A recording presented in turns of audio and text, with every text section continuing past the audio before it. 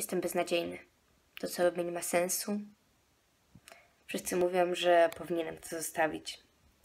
Wszyscy mówią, że to kiepskie. Wszyscy mówią, że jestem beznadziejny. Wszyscy mówią, że nie powinienem tego robić. Więc chyba czas z tym skończyć. Chyba czas się zmienić. Chyba mają rację i naprawdę jestem beznadziejny. Chyba powinienem udawać kogoś innego. Na szczęście jestem tylko narratorem tej sytuacji. Jednak takie słowa naprawdę mogły trafić w czyjeś serce. Te słowa naprawdę mogły kogoś zranić. Dlatego nie powinniśmy tak niszczyć naszych relacji z drugim człowiekiem, bo nikt nie chciałby takich słów otrzymać. Dlatego dzisiaj mówię hejtowi stanowcze nie.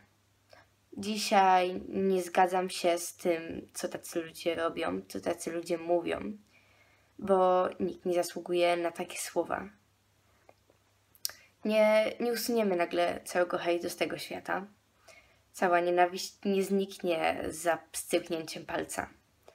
Jednak możemy zmieniać nasze najbliższe otoczenie, możemy zmieniać to, co się dzieje wokół nas, mówiąc nie.